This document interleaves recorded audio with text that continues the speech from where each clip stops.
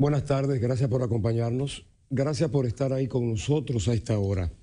La vaguada incide en el país, en breve lo que dice el COE. Aquí en Santiago tenemos una tragedia, un niño de dos años que murió arrastrado por las aguas de una canaleta. También ventarrón afecta sembradíos en comunidades de Santiago Rodríguez y Montecristi. Además, el fallecimiento de un hombre calcinado durante un incendio en una comunidad de Monte de las Aguas, en la provincia de Espaillat. En seguimiento, el apresamiento de un hombre, presuntamente junto a otros cuatro, asaltaron y violaron a una mujer en San Francisco de Macorís. También le damos seguimiento a tres meses de prisión preventiva a un hombre acusado de presuntamente violar a una niña de nueve años. En La Vega se le conocía coerción a los acusados de participar en el asesinato del taxista Domingo Paulino Moreno. En Bávaro, autoridades civiles y militares se reúnen para tratar el caso de los niños, niñas y adolescentes que se dedican a pedir, a prostituirse y la venta de drogas en esa zona. En La Romana detuvieron a los presuntos miembros de una banda que robaba motores y se hicieron famosas las mujeres que entran a tiendas y las meten y roban mientras una imbulla a la empleada otra mete entre sus piernas, en la falda, ropa de todo tipo con una habilidad extraordinaria. Nuestro recorrido lo iniciamos en Santiago. Un niño de dos años falleció arrastrado por las aguas de una canaleta a propósito de las lluvias que han caído en las últimas horas en esta provincia. José Luis Liriano, dos años. Esto ocurrió próximo al centro del primer nivel de la comunidad de Villabao, Ato del Yaque, al sur de Santiago. El INASIF duró mucho para levantar el cuerpo. Hubo alguna polémica en la comunidad porque algunos decían que los padres y abuelas de este niño se descuidaban con el cuidado del mismo. Los familiares niegan esa versión. La madre la abuela paterna, entre otros, dicen que el niño se le escapó y cuando se dieron cuenta era muy tarde. Yo tengo unos recién nacidos y yo estaba dándole, tú sabes, para no darle sereno, yo estaba en la habitación y estaba en la sala y de un pronto fue eso, no fue, él salió de un pronto, estaba conmigo allá y salió. Cuando yo solté el niño, y salí atrás de ella a buscarlo ya no había. Me dice que antes de que el niño ustedes lo encontraran, el niño ya había salido otra vez que ustedes lo habían entrado para adentro. Eh, eh, eh, yo siempre tengo precaución, yo cada vez que sale, yo salgo atrás de ella a buscarlo. ¿Él salía con mucha frecuencia el niño a la calle? Sí, pero... La, gente, la gente dice que, que ustedes se descuidan del niño y que el niño anda de sola de la noche, a las 10 de la noche, a toda hora y que los vecinos tienen que llevarlo a la casa. Mentira. Eso es mentira. Se salió una sola vez, yo lo entré y la última vez se salió y no, y no lo encontramos más. Después fue que lo encontramos así. ¿Cuándo lo encontraron? ¿Ya el niño no tenía signo de vida? No, cuando Kylen, el sobrino mío, lo agarró, ya él no tenía. Porque ahí venía y jugaba mucho conmigo.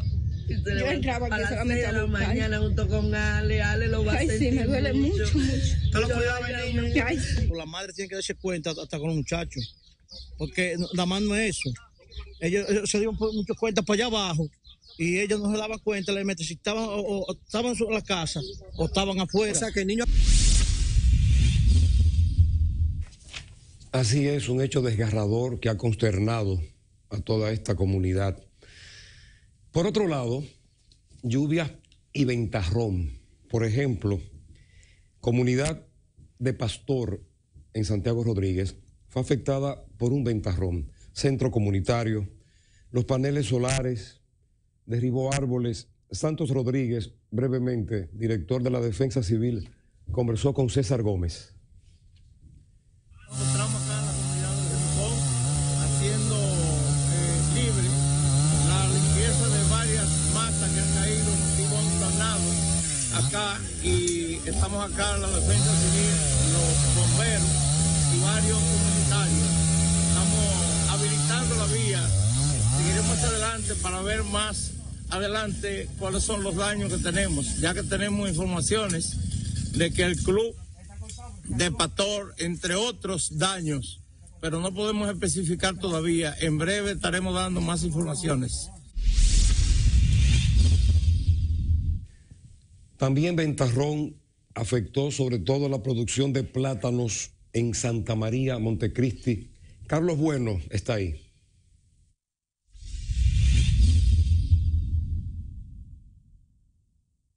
Bien, tal como ustedes acaban de adelantar, nos encontramos en el Distrito Municipal de Santa María, provincia de Montecristi, donde en medio de las lluvias, un fuerte ventarrón afectó lo que es la producción de plátano y guineo en esta zona. Vamos a escuchar lo que dicen algunos productores aquí en este sector, debido a que dicen ellos que los daños han sido cuantiosos. Le hacen un llamado al gobierno del presidente Luis Abinader a través del Ministerio de Agricultura que venga en auxilio de ellos. Vamos a escuchar donde las pérdidas son cuantiosas en cuanto a este daño a lo que es la producción de plátanos y guineo. No, esto fue un betarrón que pasó por aquí y acabó con todo. Por aquí nos dejó una mata de plátano, de yuca. Yo creo que hasta la batata le hizo daño. Eh, fue muy fuerte. Fue muy fuerte. ¿Qué ustedes piden? Que nos ayuden, una ayuda del gobierno. Para que no- restablecerlo. para restablecerlo o sembrar, ya lo mismo es sembrar. ha empezado a cortar y la brisa terminó de llevárselo. Aquí pidiéndole al ministro de Agricultura a ver si puede meternos la mano en lo que él crea que se puede. Le dio duro a la finca. El mío se fue todo. El Todo. mío eran 50 tareas y quedaron 6 o 7 matas paradas, no más de ahí. Esperamos que el ministro nos tome en cuenta para ver qué nosotros podemos hacer con las deudas que tenemos, porque lo que más nos preocupa son las deudas, porque por lo menos estamos vivos. Esperamos que el presidente también tome carta en el asunto y nos puedan ayudar en lo que sea posible. No, pero claro, no esperábamos esto. Esto sucedió en un momento, eh, eh, un corto momento, porque eh, para, para Dios nada es imposible. El día estaba despejado ayer tarde, pero de un momento a otro se, se nubló y viene esta catástrofe. Imagínate, esto ha sido bajo esfuerzo, eh, no, esperábamos esto. Eh, esperamos que el gobierno y el ministro de Agricultura tome carta en el asunto, que venga eh, por una ayuda, porque esto ha sido a base de sacrificio. El levantar esta cosecha no es fácil. Tú ganándote dos pesos allí en la mecánica, invirtiéndolo aquí, para llevar este plátano a, ese estado que está, en estado de, de, de preñez, ya eh, tirando la manzana. De otra parte, esto es lo que tenemos en cuanto a esta información desde Santa María, provincia de Montecristi. En cámara, César Jerónimo hace un reporte de Carlos Bueno. Muchas gracias, Carlos. Por cierto, el director regional de Agricultura en esa zona, Julio César Esteves, hizo un levantamiento de los daños causados por el ventarrón. Eh, ustedes están haciendo una evaluación de los daños. También tengo entendido que en Cerro Gordo hubo mucho daño y- en esta zona. Sí, eh, mayormente casi, casi toda la comunidad de aquí de, de las matas de Santa Cruz fue la más afectada. Hay alguna parte también en Guayubín, en Cerro Gordo, como te dice también. Entonces estamos haciendo las evaluaciones porque fue ayer ya, en la, cayendo la tardecita que pasó el fenómeno, el fenómeno. Los técnicos tuvieron conocimiento, pero es, es hoy que andan los técnicos en cada una de, las, áreas del Ministerio de Agricultura haciendo el levantamiento. En verdad, la mayoría de los daños ha sido en plátano, en plátanos que no estaban en producción. Pero estamos evaluando, porque el plátano que está en producción para ver cómo nosotros podamos apoyar al productor. Hay guineo también, a ver cómo en esa parte se ayuda. Y eso es lo que estamos esperando. Ando aquí con el cagado de la zona, de aquí de Villavasque, para evaluar los daños. Ya todos los técnicos nosotros andan en el campo, en sus distintas áreas, para hacer una evaluación. El ministro me llamó bien temprano, tuvimos comunicación para yo informarle al señor ministro todo lo que está aconteciendo para salir en apoyo de cada uno de los productores de, de aquí de, de Villa En la Yaguasa de los Guarícanos llaman a las autoridades a ir en su auxilio. También las casas se están inundando, se les dificulta.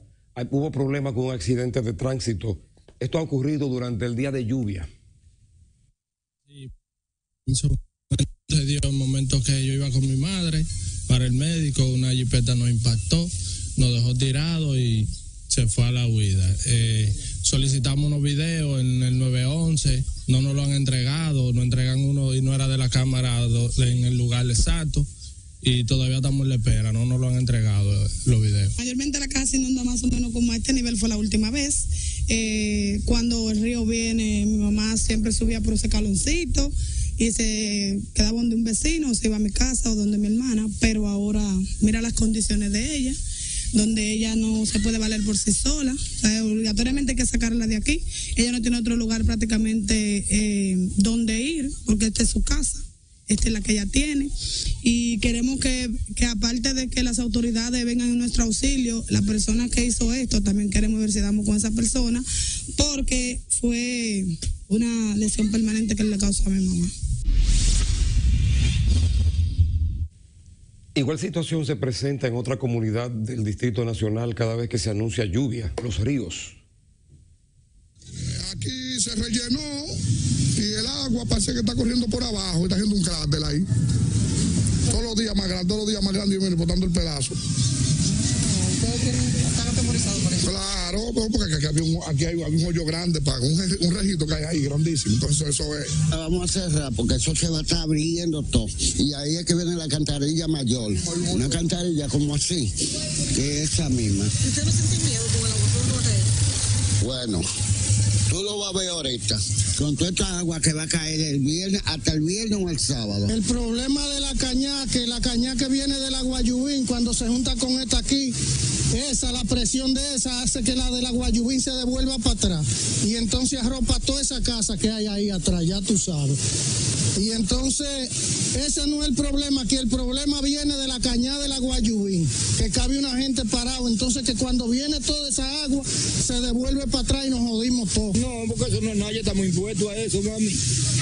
Allá están motores, a eso, porque aquí se activa el agua ya entra. A ese colmado, sí, ahí se ha dañado todos los frisos y todo. Pero el problema es que nosotros, después que no hicieron ese, ese que pusieron esa cantarilla ahí tan fuerte que usted ve el agua, lo que hace una represa, se entra para acá. Usted ve por esa persiana, por ahí se le entra el agua a esa señora y vuela para acá. Nunca se me había entrado el agua. Yo me mudé aquí en el 81, cuando esto era un monte. Ahora estoy sufriendo esto. El COE aumentó a nueve provincias y al distrito en alerta amarilla, mantiene tres en alerta verde debido a que se incrementan las posibilidades de lluvia, se lloverá más por la vaguada. de alerta. En amarilla, en este momento, están Barahona, Pedernales, Independencia, Asua, San José de Ocoa, San Cristóbal, Peravia, provincia de Santo Domingo, Distrito Nacional y San Pedro de Macorís. Verde, continúa Bauruco, La Romana y La Alta Gracia. Le pedimos a la población en alto riesgo en las provincias alertadas no descuidarse, abstenerse de cruzar ríos, arroyos o cañadas que presenten grandes volúmenes de agua, ya sea en vehículos a pies. La UNAMED está prediciendo desde el lunes, cuando emitimos los primeros niveles de alerta, de lo que ocurriría a partir de hoy. Se esperan precipitaciones en gran parte del territorio nacional, por lo que le pedimos a la población no descuidarse.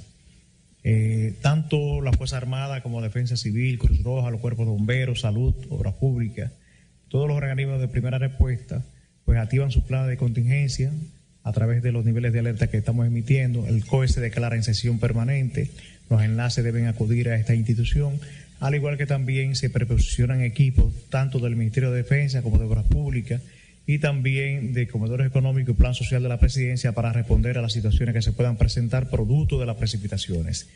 Vuelvo y les repito, la población no debe descuidarse, deben estar contestes con los lineamientos de los organismos de protección civil y darle un estricto seguimiento al parte meteorológico de la UNAMED.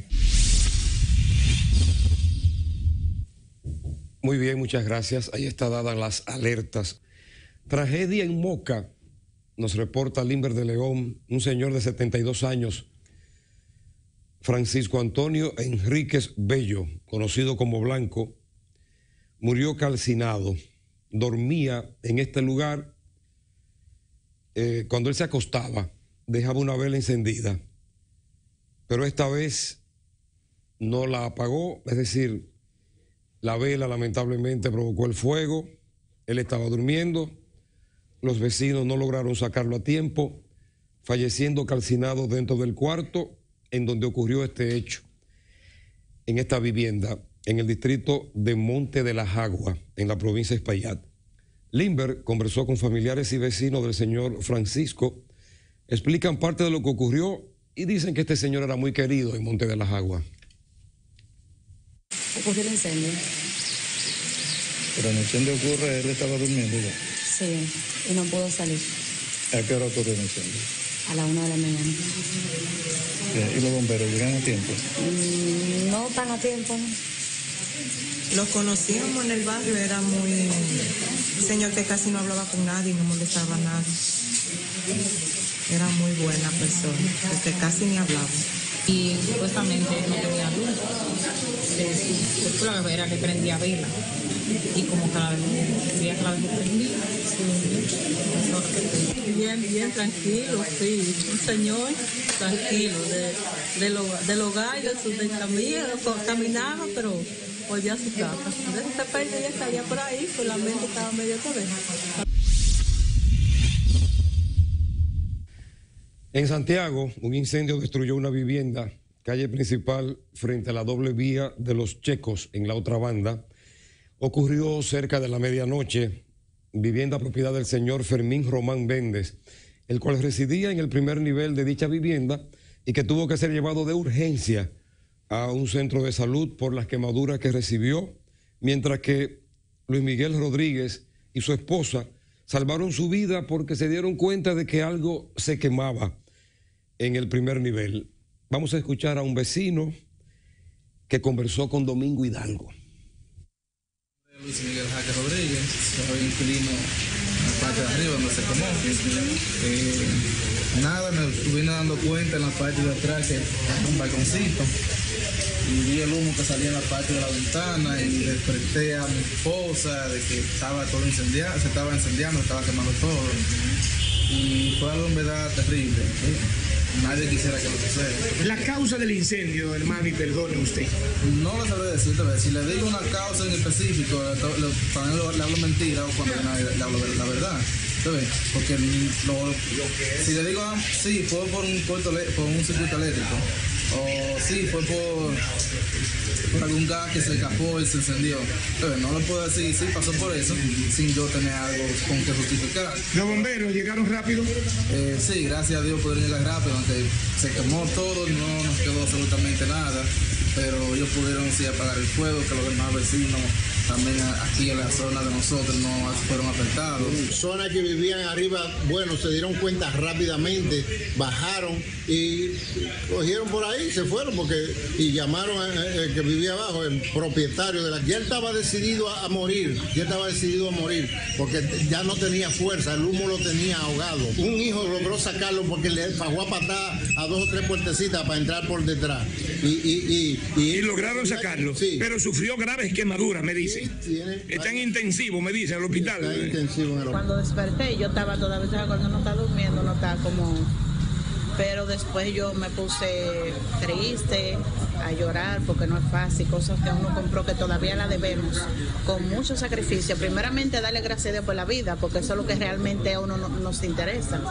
Pero también cuando usted compra algo con tanto sacrificio, no es fácil.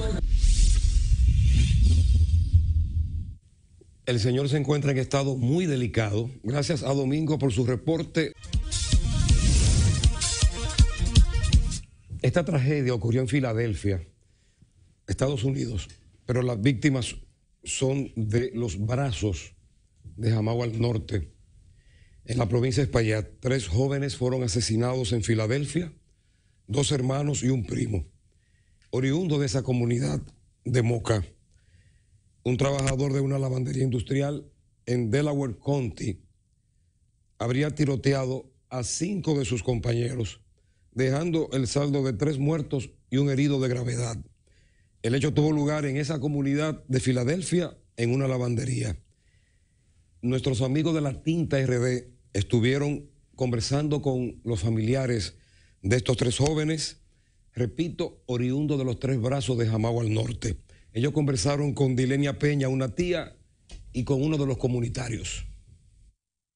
No, en realidad, para serles sincera, no tenemos mucha información. Solamente sabemos que había eh, un boricua trabajando con ellos y fue despedido. Y fue en la mañana de hoy que fue y le disparó a los tres, a mis dos sobrinos y a mi primo. ¿Cuántos años tenían ellos? Bueno, uno tenía, mi sobrino, uno tenía 23, otro 26 y pienso que el otro 24. ¿Los nombres de ellos? Eh, mi sobrino Leovani Peña Roja, Higginson Peña Roja y, y Yudevi Peña Peña. ¿No le decían ah, nada a ustedes cuando se comunicaban? No, había nunca nos dijeron que tenían problemas ni nada. Eran unos muchachos que solamente vivían de su trabajo, muy amistosos y todo. Nunca nos dijeron nada sobre eso. Nunca había pasado. Esto nos pertenó a todos y estamos todos de luto. La comunidad de los brazos entera está de luto por esos tres jóvenes, porque eran jóvenes ejemplares que salían de nuestro país a superarse y lamentablemente encontraron la muerte fuera de su país y en verdad nosotros estamos muy consternados. No tenemos palabras para expresar todo esto que, que pasó aquí en los brazos, pero que Dios lo tenga en gloria y Dios sabe cómo lo tiene que tener a ellos. Que en paz descansen. ¿Cómo eran esos jóvenes aquí? ¿Cómo se llamaban con ustedes? Esos jóvenes no es porque están fallecidos, porque todo el que fallece dicen que es bueno. Por eso eran, estaban vivos para nosotros y eran tres jóvenes ejemplares de aquí de la comunidad, que ayudaban a cualquiera con lo que necesitaban, a su propia familia. Se fueron tres jóvenes que lo vamos a extrañar mucho. En San Pedro de Macorís también otra tragedia, un hombre al que le quitaron la vida a machetazos. Abel Quesada nos reporta.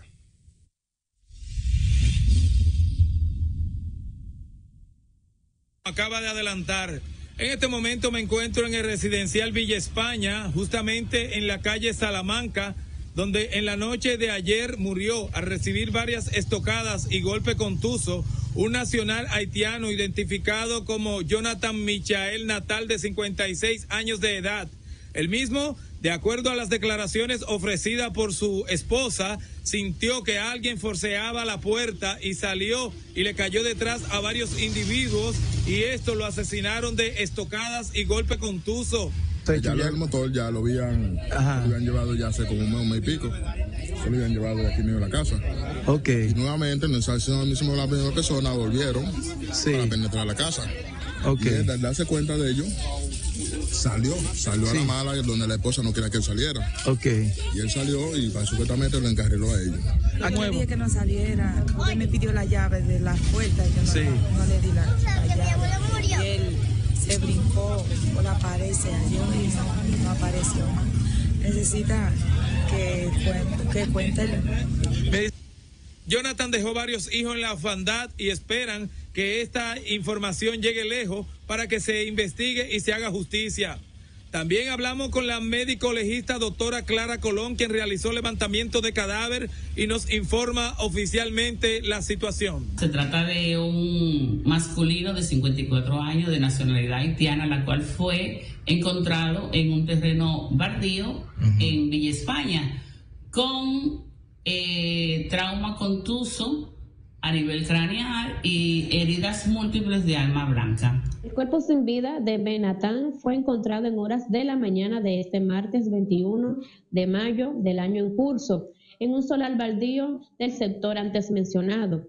Según la nota preliminar, el fallecido había salido en horas de la noche del día anterior, detrás de tres personas, hasta el momento en proceso de ser identificados, el cual los había sorprendido cortando los cables del tendido eléctrico de su residencia. Mientras que el DICRIN hace los arreglos del lugar y está haciendo las investigaciones para dar con los que realizaron esta muerte. Hasta el momento es todo lo que tengo. Desde Residencial Villa España, San Pedro de Macorís, reportó Abel Quesada.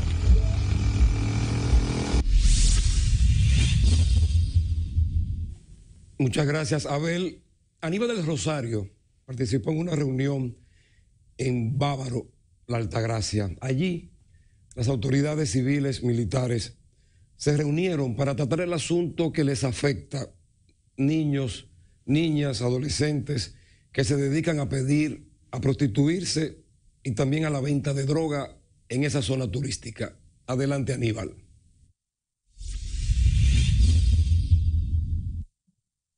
Bien, saludos, muy buenas tardes, buenas tardes a todos los que nos siguen a través de los medios de comunicación.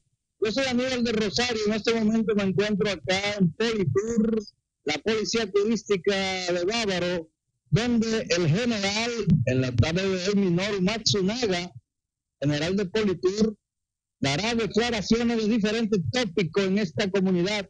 Conani explicó a todos los que íbamos a participar cómo tratar los niños, buscamos empresarios y se hizo, digamos, una batida a 13 de esos menores que conseguimos empleo.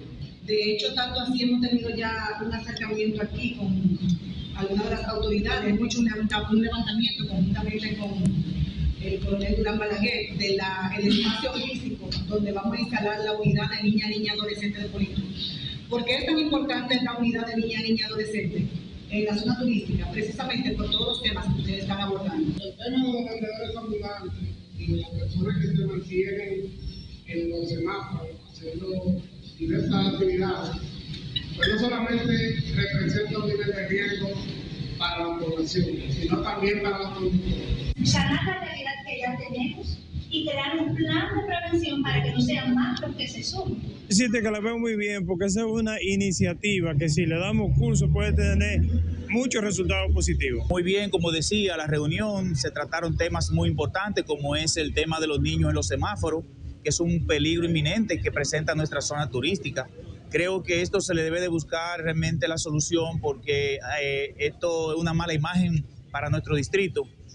Para José Gutiérrez, en CDN, desde esta zona turística Verón Bávaro, Punta Cana, es un reporte de Aníbal San Rosario. Nosotros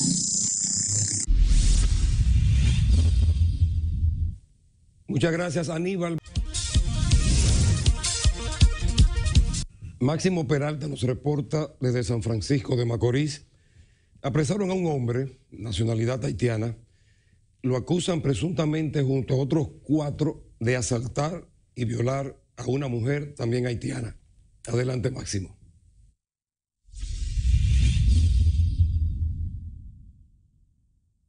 Así es, buenas tardes. Y es que agentes de la Policía Nacional en esta ciudad apresaron a un ciudadano haitiano quien junto a otros cuatro más asaltaron y abusaron sexualmente de una mujer de su misma nacionalidad. Escuchemos sus declaraciones, ya que él mismo se defiende de dichas acusaciones. Yo no sabía nada de eso, yo no lo conocí. Ellos dicen que yo lo conocí a, a la gente que, que hace cosas, yo no lo conozco. Ella te identificó, Que- ella. que te yo- conoce, digo ella. Él dice que yo lo conoce a la gente, yo soy inocente, yo no lo conozco. Yo tengo seis días preso, seis días preso. Yo tengo la mujer mía embarazada, embarazada, dos meses y medio en la casa sola. Yo estoy inocente. ¿Y por qué te está acusando ella entonces de violarla? Yo no sé, yo no sé, yo no lo conozco a ella ni de la cara ni nada. Por eso yo dice, hay que ver a ella porque yo no lo conozco a ¿Qué ella. tú haces? ¿Qué tú haces? ¿A qué tú te dedicas? ¿Qué tú trabajas? Construcción. ¿Construcción? Sí. ¿Dónde tú vives? En los plantines. Entonces, Moreno, ¿qué tú le pides a las autoridades? Yo le pido a las autoridades que me ayuden porque yo soy, yo no lo conoce a la mujer, tampoco no lo conoce. Y la gente que abusan a él, tampoco yo no lo conoce y ella está diciendo que yo lo conoce a, a la- a esa gente. Desde la sede de la Policía Nacional en San Francisco de Macorís, en un reporte especial para José Gutiérrez, en CDN les informó Máximo Peralta. Muchas gracias, Máximo. Aquí en Santiago, Palacio de Justicia, nos informa Manuel Domínguez, el Servicio de Atención Permanente dictó tres meses de prisión preventiva a Alfonso Xavier Castillo, alias La Uva. Lo acusan de violar a una niña de nueve años. Esto ocurrió en el Ingenio Abajo. Habló Manuel con Wilandi Sarita, abogada. Convocados para conocer la, audiencia, la de de cohesión que llevaba Alfonso, alias Francis yo la uva, por este, en los meses posteriores, eh, haber, haber agredido sexualmente a una menor de edad de nueve años. El- la, la audiencia se fijó para ayer, la misma se aplazó para el día de hoy, a los fines de que el imputado pudiera presentar los salarios suficientes, los cuales el tribunal entendió que por la gravedad del hecho no eran suficientes para mantener el mismo atado a, la- a todas las etapas procesales, por lo que el tribunal entendió que la medida más idónea para mantener el mismo atado al proceso fue la, preven- la prisión preventiva por un espacio de tres meses. ¿Y qué alegaron el Ministerio Público? Eh, el Ministerio Público, tanto como nosotros como parte querellante, eh, alegamos eh, y luego posteriormente vamos a, a- demostrarlo en un tribunal, en, en ya en la etapa de juicio, sobre la agresión que ejerció Arias La Uva en contra de la menor de edad de nueve años de, nueve años de edad.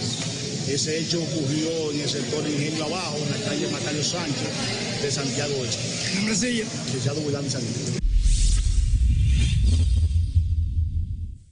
Abogado Huilandi, muchas gracias. En La Vega, Miguel Valdés nos dice, reenviaron la audiencia de conocimiento de coerción contra Dani Monegro, alias Jordan. Lo acusan de participar en la muerte del taxista Domingo Paulino Moreno. Al preguntar al acusado, dijo que todo está saliendo bien, que está en manos de la fiscalía. Agregó que quiere saber quién fue que mató al taxista, porque no fue él. Habló el apresado y su representante, el licenciado Rafael Lora. tiene que decir sobre eso? Está saliendo bien, gracias a Dios. Pero ¿quién es que te está acusando? Tú no participaste en esa muerte. Tranquilo. ¿Quién fue Jordan? Eso ¿Quién fue? manos de la fiscalía. Pero ¿quién fue Jordan que le dio muerte? ¿Cómo era Quisiera Domingo? saber para que tú hagas lo que se le ¿Cómo era Domingo contigo? ¿Cómo era Domingo contigo? ¿Tú eres inocente de eso? ¿Tu nombre es licenciado? Licenciado Rafael Lora. ¿Usted representa? Yo represento al ánimo negro, el alias Jordan, el presunto diputado en el hecho de taxista. Bien, ¿cuál es el procedimiento que se está utilizando? Bueno, nosotros ayer tuvimos la primera audiencia, yo la placé a los fines de tomar conocimiento del expediente, así como depositar algunas pruebas, eh, arraigos, unos videos que certifican que el mismo no estaba en una discoteca al momento de cometerse, de el hecho. Eh, nosotros, esto es un asunto preliminar, hay que tener respeto por el oficio, que ciertamente era una persona seria, una persona honesta, pero ciertamente la prueba que yo he tomado conocimiento de la fiscalía no son vinculantes a nadie, no solo a mi imputado, a nadie. Entonces, es un hecho que debe seguir siendo investigado. Estamos nosotros en el tenor incluso de colaborar, en el entendido de que vamos a depositar pruebas que certifican de que Dani se encontraba en una discoteca al momento de pasar ese hecho. Es un asunto preliminar, la próxima audiencia será el jueves y ahí un juez garantista tomará el caso y verificará las pruebas, la cifra mínima y tomará una decisión.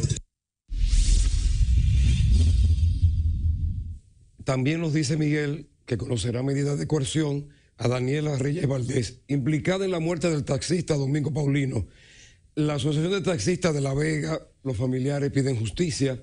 Miguel habló con Esmeralda Paulino, hija del asesinado, la señora Denny Pérez, ex esposa, y Dauri José, representante de esta Asociación de Taxistas Vegana. Nosotros necesitamos también que el señor presidente Luis Abinader nos apoye en esta ocasión. Yo soy una servidora, yo trabajo con el Ministerio Público y necesito que el señor Luis Abinader me ayude a aclarar todo, todo lo que pasó con mi papá, por qué me lo mataron. La pareja, Yo quiero saber por qué me mataron a mi papá. Jordan, ustedes culpan a Jordan. Claro que sí. Ahí se ve en el video completamente de que es Jordan, que él es hasta cojo. Incluso Jordan tiene muchísimos expedientes de muerte. ¿Qué tiene que ver la, Daniel la en el pareja caso? de, de Jordan, aparentemente, eso es lo que se dice, que ellos son parejas. Pero ella se ve perfectamente en el video donde ella aborda el vehículo también. Ella está incluida en el asesinato. ¿Su nombre? Mi nombre es Esmeralda Paulino. y esperamos justicia, aunque la justicia está trabajando perfectamente. Y también tengo que decir que si algo le pasa a mis hijos, culpable, es, eh, los dos como culpables, a John, a, a, a, a mi imputado, a, Dani- a- Daniela y a, a Jordan. La autoridad hizo su trabajo ya. pero todavía falta algo, que no se sabe de carro, no se sabe nada. Y estamos también, proceso que la, la víctima, eh, los, los- los Los imputados. Los imputados eh, están ahí de justicia, están ahí hoy, bueno, que- queramos que hagan justicia. Hoy se le va a conocer medida a Daniela. A Daniela se le va a conocer medida. Entonces queramos que, que los jueces eh, tomen carta de su asunto eh, y ya usted sabe. Muchas gracias, Miguel. La vocero de la policía en La Romana nos dice que el DICRIN detuvo a miembros de una banda presuntamente robaban motocicletas. Preventivos de nuestros agentes, varios antisociales han sido detenidos, dentro de ellos uno de una peligrosa banda dedicada al robo de motocicletas en el municipio de Villahermosa y un antisocial que estaba siendo buscado desde el año 2020 por asalto a mano armada. Uno de los detenidos, Raúl José Dévalo, de 33 años, quien está dedicado al robo de motocicletas, como ya mencionamos, en el municipio de Villahermosa. Fue sorprendido con una motocicleta denunciada como robada. Al profundizar las investigaciones, miembros del DICRIM pues ubicaron en el lugar junto a otros individuos eh, que están activando su localización, desmantelaban las motocicletas y alteraban numerosos chasis. En el operativo, los agentes decomisaron cinco motocicletas de diferentes marcas y también numerosas piezas de las cuales desarticulizaban la misma. La detención de este hombre constituye representa un significativo golpe a la banda de robo de motores en el municipio de Villahermosa. Aquí en Santiago, José Disla le da seguimiento al robo que cometen mujeres en tiendas captadas con cámaras de seguridad. La semana pasada presentamos uno de esos casos. Una embulla a la empleada y la otra comienza a meter mercancía entre sus piernas con una falda que cubre todo. Nuestro amigo Nelson, padre del propietario de una de esas tiendas afectadas, dice que esas mujeres le llevaron más de 100 mil pesos de mercancía. hijo mío tiene una tienda, tiene dos jóvenes trabajando en la tienda y vinieron tres distinguidas a comprarle a la tienda, como va todo el mundo, los clientes. Él vive en Estados Unidos y se dio cuenta por la cámara que le estaban robando, porque ellas van con falda y se entran la, ropa de debajo de la falda. Pero yo no entiendo cómo se llevan tanta, cómo le cabe tanta ropa, porque se llevaron más de 100 mil pesos en mercancía. Esas distinguidas mujeres, o mejor dicho, esa distinguida ladrona, ¿cómo le puede? Se llevan en maletas de, entre los pies. Primera vez que pasa eso en esa tienda. No, segunda vez ya le, le roban. Unas fotos que andan ahí en las redes sociales pertenecen a estas mujeres. Sí, son ellas que están ahí en video, fotografía, art. pero parece que no es la primera vez que ellas lo hacen, porque ellas hacen un operativo tienda por tienda y pueblo por pueblo que andan robando. Ellas vienen de Santo Domingo. Recomendaciones que ustedes le darían a los demás propietarios de tiendas. que manténganse vigilantes cuando van personas extrañas que no son del municipio, para que tengan ojo visor con, con, con esas mujeres que vienen de otra provincia a robar a los pueblos. La vocero de la policía en Santiago nos habla de unos allanamientos y de lo que se incautó.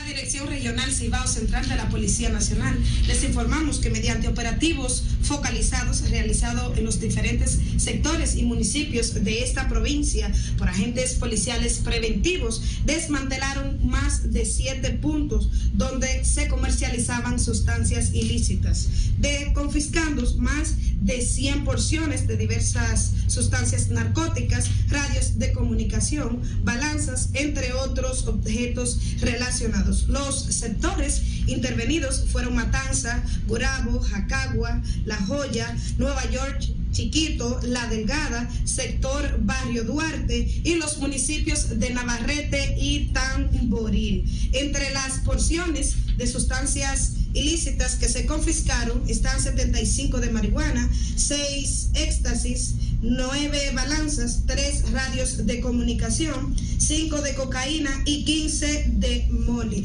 Los las evidencias ocupadas están en poder de los departamentos correspondientes para los fines procedentes de ley. ¿Cuántos apresados? Hasta ahora no hay apresados, se hicieron intervenciones en los diferentes sectores, como ya mencioné, confiscando las porciones y ocupando los objetos ya mencionados. Por cierto, dice la DNCD que unos 12 paquetes de marihuana, 15 envases y 18 sobres con cocaína líquida fueron ocupados en el Aeropuerto de las Américas y en el Impostdom. En una primera intervención detectaron una caja que se enviada a Puerto Rico. Ahí habían nueve paquetes de marihuana. Luego incautaron otros tres paquetes de marihuana en las Américas y en una torre de apartamentos ubicada en la calle Ramón de Lara de Santiago se dice que esos paquetes de marihuana estaban camuflados en prendas, fueron enviados desde Estados Unidos a un hombre en esa residencia de esta ciudad. En el impostón confiscaron una caja con 18 sobres que simulaban ser salsa de tomate, productos de belleza y allí entonces encontraron cocaína. Reporte de accidente de tránsito.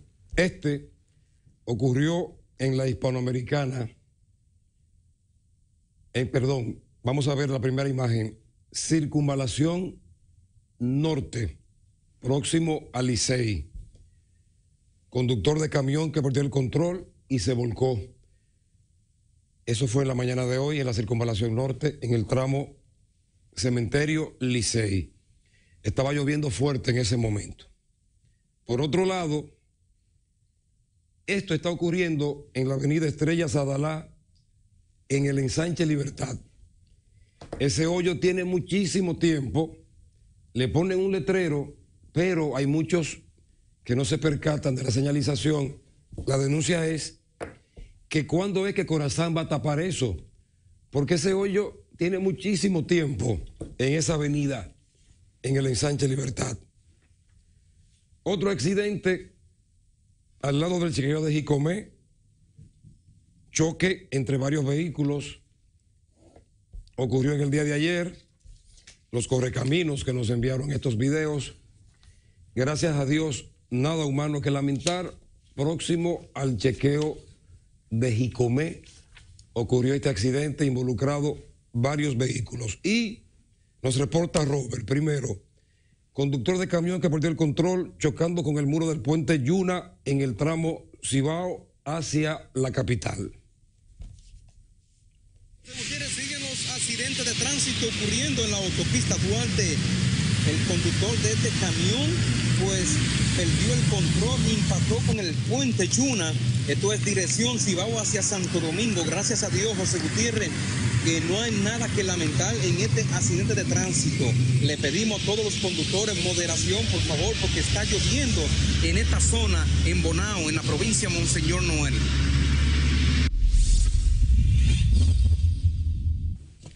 En este sí hubo un saldo lamentable, nos informa Robert, autopista Duarte, un joven, Israel, que residía en Caño de Piedra, falleció, iba a bordo de una pasola impactado por un vehículo que emprendió la huida del conductor. Esto sucedió a la cabecera del puente Yuna Bonao, ahí mismo, en ese tramo. Adelante, Robert. José Gutiérrez, yo me encuentro en estos precisos momentos en la autopista Duarte, dirección Capitana hacia el Cibao, en la cabecera del puente Yuna Bonao, donde una persona pues venía desplazándose en una pasola vehículo lo impactó, donde el vehículo emprendió la huida. En estos precisos momentos, pues están esperando el médico legista para hacer el levantamiento. Vuelvo y repito, José Gutiérrez, esto es aquí, en la autopista Duarte, en la cabecera del puente Yuna, dirección Capitán hacia el Cibao. Israel, me dicen que era del lugar donde tú vivías, por ahí. Caño Piedra. Caño Piedra. ¿En qué venía este joven? Supuestamente venía en la pasola de él. Supuestamente venía. Pero tú no sabes qué fue el vehículo que lo chocó, ¿no? No tengo conocimiento. Ok. Más o menos, ¿cuántos años tenía él? Como 19 años por ahí. 19. Entonces, ¿el nombre de- del joven que fue? Israel. ¿Tu nombre entonces, hermano? José pues escuchado a esta persona con relación a este accidente de tránsito que ha ocurrido pues aquí en la autopista Duarte en Bonao, eh, mayormente después en la cabecera del puente Yuna. Este joven venía desplazándose en una pasola y supuestamente José Gutiérrez se dice que un camión lo impactó donde este joven pues perdió la vida. Esto es un reporte especial para José Gutiérrez en la autopista Duarte aquí en Bonao, en la provincia municipal que reportó Robert Santos. Muchas gracias, Robert. También en la romana, un hecho lamentable. Un hombre falleció, intentó cruzar la vía ferra, la vía férrea de la locomotora. Adelante, Manuel Peralta.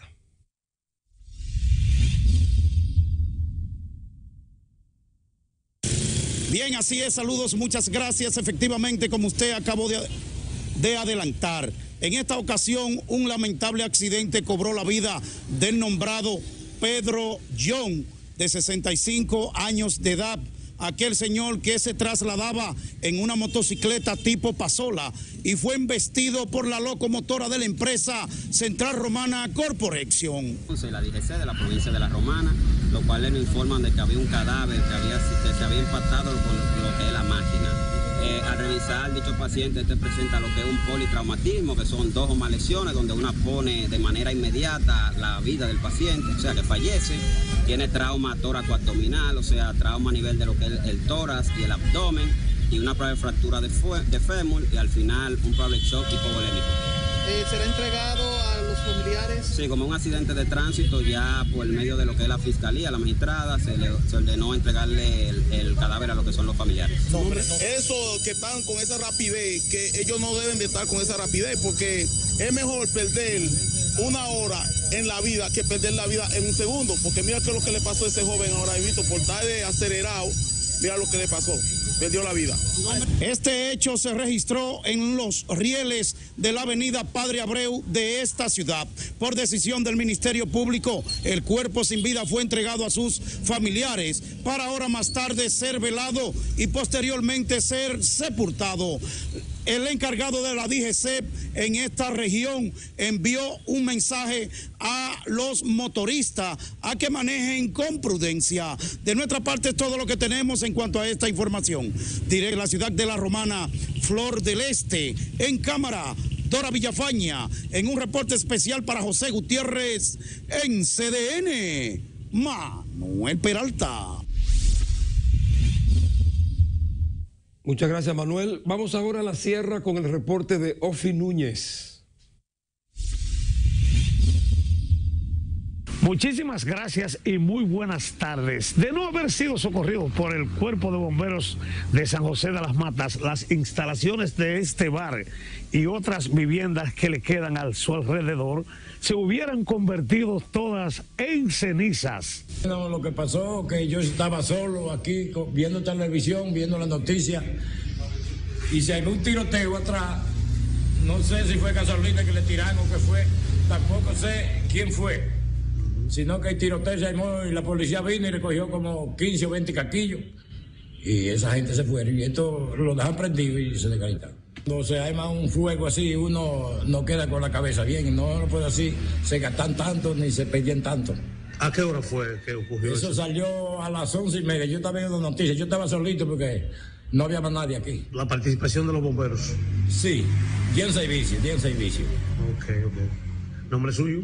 José de Jesús Rodríguez. Y desde aquí nos trasladamos hacia la zona de Juncalito arriba, en donde les presentamos este ventarrón, el cual afectó la zona del café, árboles derribados, un granizar y vientos huracanados, pero nada humano que lamentar, gracias a Dios. Y desde la misma sierra, en cámara, José Miguel Rodríguez, Ofi Núñez, José Gutiérrez, CDN. Muchas gracias, Ofi. Nolfred Rodríguez nos envía esta información. Conversó con Alexandra Mercedes, candidata a diputada por el PLD en Santiago. Reclama renconteo de votos por las irregularidades que según ella hay y que le perjudican. Nolfre conversó con Alexandra y su representante legal, el licenciado Domingo Mercedes. Alexandra Mercedes, candidata a diputada por el PLD en la boleta número 4. Estamos empoderados a nuestros abogados para depositar una instancia a la Junta Central Electoral de aquí de Santiago, debido a que hemos revisado y hemos supervisado las actas de cada colegio electoral y hemos visto y hemos encontrado varias irregularidades y por eso estamos aquí hoy. ¿De cuántas irregularidades estamos hablando? Eh, tenemos irregulares eh, actas que no tienen la cantidad de votos que sacaron los diputados, hay actas que no están firmadas por la Junta Central Electoral y hay otras actas que no aparecen los votos que nosotros sacamos. Bien, el día de hoy nosotros estamos, vamos a depositar una instancia de revisión de unos 7.000 votos nulos que existen además como la irregularidad de las actas, eh, colegios que hay una cantidad de votos y cuando se ven los partidos, hay partidos que no tienen nada absolutamente y, hay actas que están en blanco y sin firma. Entonces nosotros estamos eh, acudiendo a, a la Junta Municipal de Santiago con la finalidad de que sea respetado el derecho a elegir y ser elegido, el derecho al voto, un derecho sagrado y que garantice ese Estado social y democrático de derecho que establece la Constitución de la República Dominicana en su artículo 7. Mientras que nos reporta Sandy Báez, comenzaron en la zona sur del país a retirar la propaganda política. Gracias. Buenas tardes. Bajo un miércoles lluvioso, los candidatos y alcaldes trabajan en la eliminación de la contaminación visual. Cientos de afiches están siendo retirados en Asua y las matas de Farfán. La senadora Lía Díaz, quien ganó las elecciones en Asua nueva vez, envió a su equipo a retirar la publicidad política, luego de haber pasado el proceso electoral. Lo mismo está haciendo el alcalde Gustavo Suero en el municipio de las matas de Farfán. continuamos con el operativo para evitar lo que es la contaminación, la contaminación visual y también hacer un llamado a la población que es prohibido en la mata de Farfán. Lo que pasa es que cuando, no, cuando llegamos al ayuntamiento ya quedaba poco tiempo de la campaña y pues ya lo aceptamos, pero hay resolución que prohíbe que los postes de luz de las matas de Farfán se pongan ese tipo de publicidad. El clima en la región sur del país amaneció ligeramente una llovizna y parcialmente nublado. Es todo lo que tengo hasta el momento. En cámara, Mister Exclusiva, DJ Kelly, desde la región sur del país, para José Gutiérrez, en CDN, Sandy Baez. Muchas gracias, Sandy. Vamos a Mao con Andrés Rodríguez. Aún hay acuerdo entre los comunitarios y el Consejo Directivo de la Cooperativa Agropecuaria Valverde Copava en Guayacanes. Los comunitarios están reclamando un local para utilizarlo como beneficio de la comunidad. Recuerde que se denunció que una turba de hombres armados y encapuchados habían irrumpido en el almacén, en ese local. La, conversación y que lleguemos amistosamente a cualquier acuerdo nosotros, siempre y cuando nosotros la, la comunidad salga beneficiada, porque nosotros no podemos perder un edificio de esa magnitud, donde no tenemos nada, no tenemos ninguna institución instalada allá, pero ahí se puede instalar los bomberos, defensa civil y, nuestro ayuntamiento de allá de Cruce de Guayacanes, que no tiene tampoco localidad.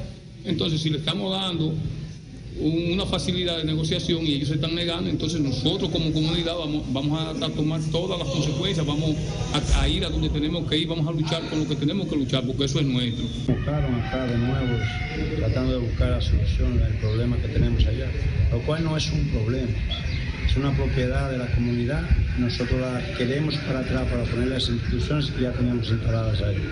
Creo que se le puede buscar la vuelta, se puede hacer ah, negociaciones con ellos siempre y cuando la comunidad salga beneficiada. Ellos tienen una comunicación y por eso ellos ocuparon eso, pero no tienen un título. Ahora bien, esa situación nosotros se lo hemos dicho y el síndico buscando una solución como persona, como político, como, persona factible, como entendedor de ciertas, ciertas situaciones, le ha ofrecido a ellos un 75% y que se haga para dejar el ayuntamiento con una situación y ellos dicen que no, porque el arroz se contamina, que la ignoración que ellos pueden causar un daño eh, eh, lesivo sin querer cometerlo. De esas situaciones ellos han planteado. Ahora bien, nosotros entendemos que le hemos dado una solución y estamos buscando una solución, pero la comunidad entiende que eso es un derecho de ellos y que ellos no se van a salir de ahí. Andrés también habló con un representante de Copava.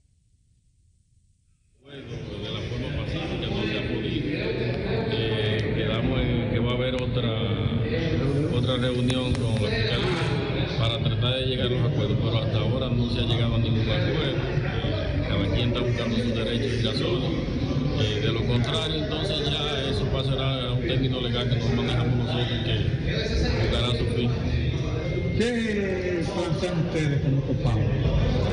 Bueno, nosotros como Copava lo único que tenemos que decir que cuando nosotros solicitamos el almacén pertenecía a la Junta de Regantes. La Junta de Regantes nos dio el derecho que Agricultura le había dado y Agricultura nos dio la certificación y nos apoderó del almacén. Nosotros hicimos, lo remodelamos, lo, adaptamos para los fines que fue de hecho, que es para pinorar arroz. Y así se ha hecho hasta el fin, hasta que ahora eh, se lo irrumpieron y por vía de, la fuerza, eh, cosa que nosotros no, podemos de ni a meternos ni, ni debieron ellos. Entonces ahora está tratando de llegar a un acuerdo, pero hasta ahora ese almacén que era de centros de, venta de, agricultura eh, fue dado en orientación a nosotros. Nosotros eh, necesitamos que nos den el almacén porque inclusive estamos alquilando los almacenes y llevando arroz a otra factoría porque ya el almacenamiento ya, ya se agotó. La posición, la posición del síndico, ¿qué le propuso a ustedes? Todavía yo no debo decirla, pero no, que nosotros recojamos 75% del almacén y hay un 25%, pero eso son 600 metros de almacén, eso no, no, es, posible tampoco. Muchas gracias Andrés. Al final nos reportan desaparecida a Damari Bernabé, 45 años, desde el lunes en la mañana según sus familiares, desapareció. Reside en Sabaneta de las Palomas. Salió vistiendo un pantalón negro y una blusa blanca. Sus familiares están muy preocupados. Agradecemos infinitamente cualquier información sobre el paradero de Damaris. Terminamos. Gracias por la atención. Hasta mañana. Buenas tardes.